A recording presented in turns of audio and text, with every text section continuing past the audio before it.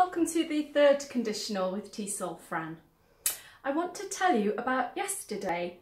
Yesterday I went to the gym from uh, 10 o'clock in the morning until 1 o'clock and my husband Simon came home at 12 o'clock until 12.45.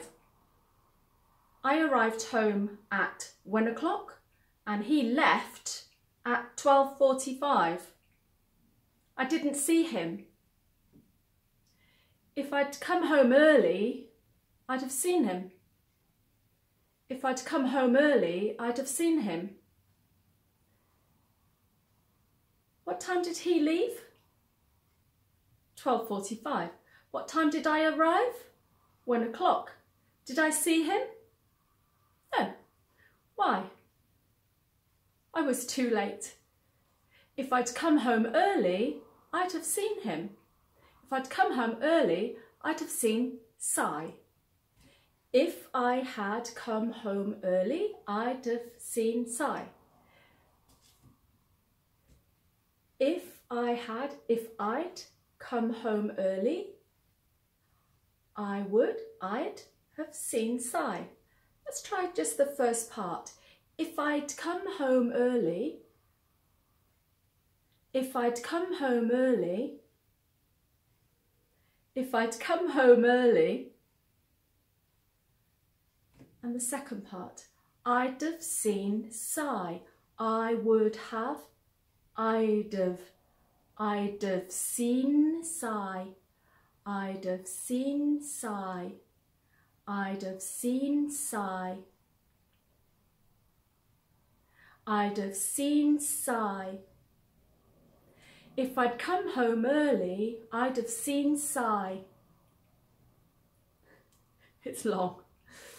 If I'd come home early, I'd have seen Si. Let's take a look.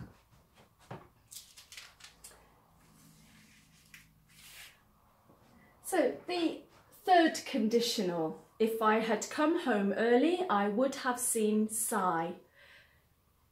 Is it real or not? No, it's imaginary. And is it an imaginary situation in the past, the present or the future? It's in the past. And how many verbs are there? If I had seen, sorry, if I had come home early, I'd have seen Si. So there are two.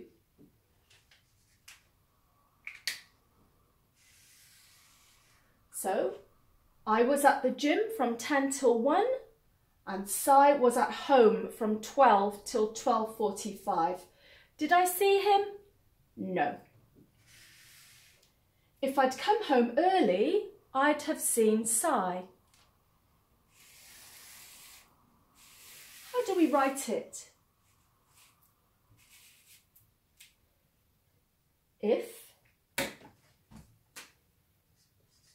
and here's the subject, and had, and this one is the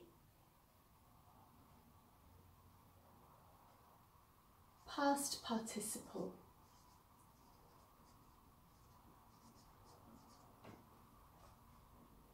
And this one, subject, would, have.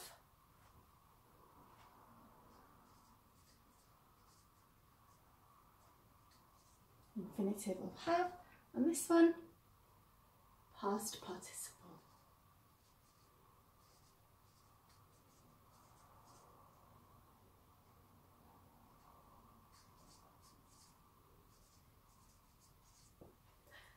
Watch the video again and we can practice in the lesson. Thank you.